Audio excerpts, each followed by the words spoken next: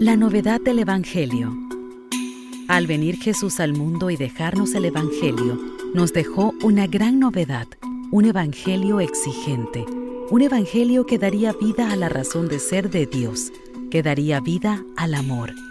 Y es el amor que identificaría a sus discípulos, es el amor que nos ayudará a vivir la fe, es el amor que nos enseñaría el camino correcto el amor que Cristo profesó y enseñó es un amor distinto al que conocemos. Es un amor que va más allá de la lógica humana, mucho más allá de los planteamientos racionales del mundo. Un amor que nos exige, y su única exigencia es que amemos más. Jesús propuso un cambio revolucionario en el amor que se conocía hasta ese momento y nos mandó a amar a nuestros enemigos. Ustedes han oído que se dijo, amarás a tu prójimo y no harás amistad con tu enemigo.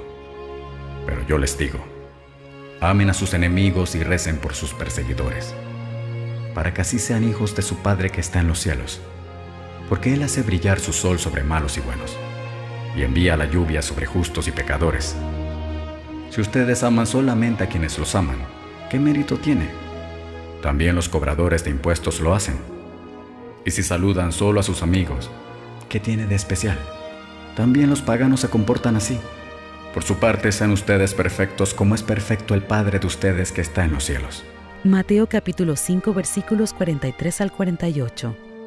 Esta es la novedad del Evangelio, la exigencia en el amor. Y para ser verdaderos discípulos de Cristo, es imprescindible darle cumplimiento a esta exigencia. No es solo decir que creemos, no es solo cumplir con los rituales, es ir más allá, es llegar a ser presencia viva del Evangelio de Cristo, encarnarnos en Él hasta que duela, hasta la última consecuencia, como lo hizo Jesús en la cruz. Jesús hoy nos vuelve a proponer esta novedad y nos pide que nos configuremos con Él, que aprendamos a pensar, a hablar, a sentir y a amar como Él, para así alcanzar la perfección en el amor.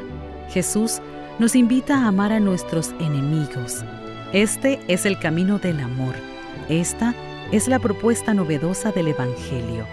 Es esa novedad que Él espera que hagamos vida en nuestras vidas. Es esa entrega, es ese donarse día a día, amando y haciendo el bien a los demás, incluso y más a los enemigos. Podrás vivir el Evangelio de manera diferente. Podrás vivirlo amando